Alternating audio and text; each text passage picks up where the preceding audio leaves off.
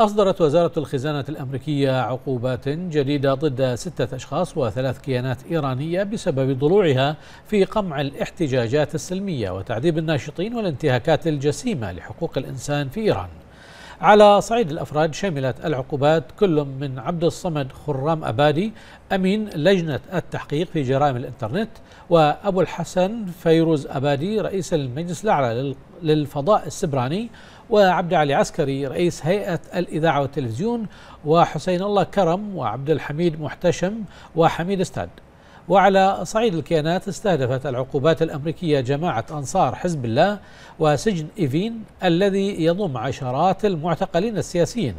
كما تم تصنيف شركة هانستا للبرمجيات والتي تتيح إمكانية مراقبة المستخدمين لمؤسسات قضائية وأمنية إيرانية.